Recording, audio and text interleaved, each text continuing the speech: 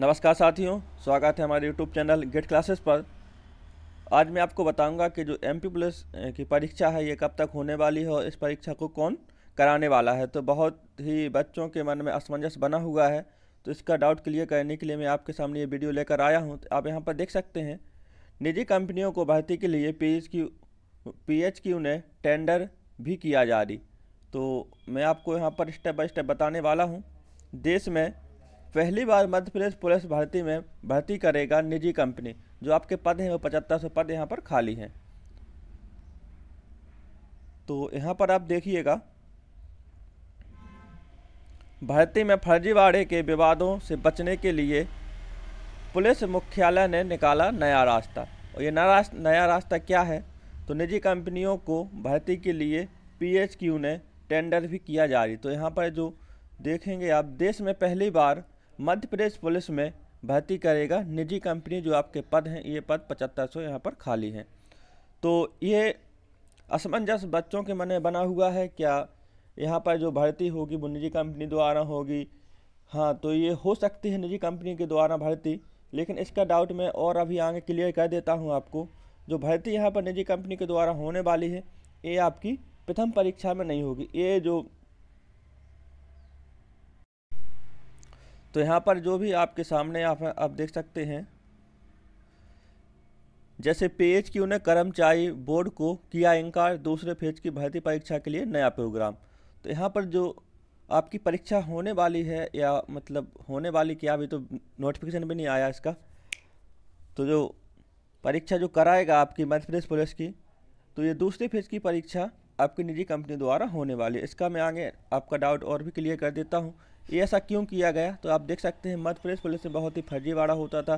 पीपर लेकेज मतलब ये कुछ बहुत सा हुआ तो इसका निर्णय लिया गया कि निजी कंपनियों के द्वारा यहाँ परीक्षा होगी।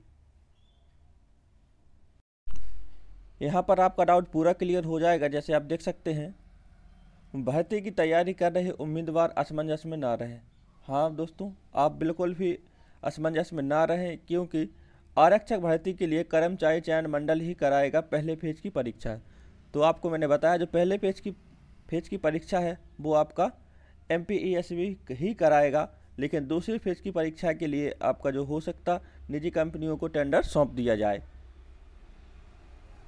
तो आप देखिएगा यहाँ पर मध्य प्रदेश कर्मचारी मंडल द्वारा आरक्षक भर्ती कराई जाएगी या नहीं। इस बात को लेकर भर्ती की भर्ती करने वाले उम्मीदवार बहुत ही असमंजस में हैं।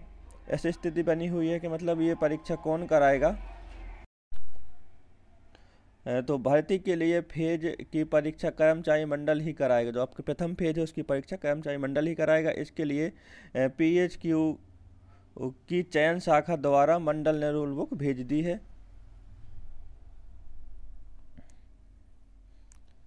अंतिम, इसे अंतिम रूल बुक दिया जा रहा है। इसमें कुछ ऐसी क्यूरी है जिसके दूर होते ही मंडल द्वारा नोटिफिकेशन जारी कर दिया जा सकेगा। पीएचक्यू की शाखा चयन शाखा के जो आपके देख सकते हैं यहाँ पर एडीजी संजीव शर्मा का कहना है कि पुलिस मुख्यालय द्वारा सिर्फ़ फ़िज़िकल आप ध्यान दें बिल्कुल फ़िज़िकल टेस्ट में सहयोग लेने के लिए आउटसोर्सिंग एजेंसी को हायर किया जाएगा। तो आप बिल्कुल भी असमंजस में ना रहें, जो आपकी प्रथम फ़ेज़ की परीक्षा होगी, वो मध्य प्रदेश कर्मचारी मंडल ही कराएगा। और दूसरे फ़ेज़ की परीक्षा में आपका जो सोर्सेस एजेंसी है मतलब कोई निजी कंपनी को ये टेंडर सौंप दिया जा सकता है। बिल्कुल कन्फर्म नहीं कर सकते।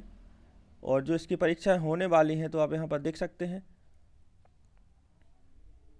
इसका जो कैलेंडर हुआ है जारी मतलब इसकी परीक्षाएँ कब तक होंगी तो अगस्त जो आपका 2023 में होने वाला है तो अगस्त अंतिम सप्ताह से या इसके बाद में आयोजित करा सकेगा। मंडल के कैलेंडर के अनुसार 2023 में अब तक पाँच परीक्षाएँ होनी हैं जिनका आयोजन आप यहाँ पर देख सकते हैं। जैसे जो 2023 में पाँच परीक्षाएँ एमपी की होने वाली हैं तो फ, 10 फरवरी से आपकी समूह टू ऑफ़ समूह, थ्री की परीक्षाएँ होंगी और 20 फरवरी से आपकी आबकारी आरक्षक की परीक्षाएँ होंगी और 15 फरवरी से आप, सॉरी 15 मार्च से आपकी जो समूह टू ऑफ़ समूह फोर जैसे आप पटवारी संयुक्त परीक्षा यहाँ पर होने वाली है और ग्यारह मई से वन रक्षक की परीक्षा होगी और पाँच अगस्त से यहाँ पर group four, assistant grade four के लिए संयुक्त परीक्षा होने वाली है। तो आप देखिएगा, आरक्षक भर्ती को लेकर रूल बुक मिल चुकी है, कुछ क्यूरी है, इन्हें दूर होते ही आपका नोटिफिकेशन जारी